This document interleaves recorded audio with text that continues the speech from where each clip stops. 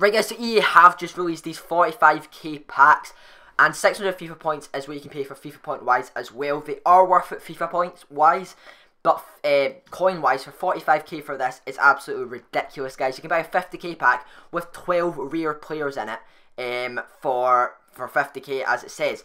This is 5k less, and it takes down it takes away six of the rare players, and you can get silvers in this. You only get six rare players for 45k, but in a 50k pack you get 12. It makes no sense.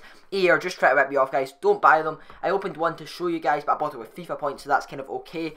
FIFA point wise, it is probably quite good because it's 400 FIFA points less than the 50k pack. Um, but coin wise, I definitely would not recommend buying it coin wise, guys. So hopefully you guys have enjoyed the video. I know it's quite quick. I just wanted to show you the new 45k pack that is out.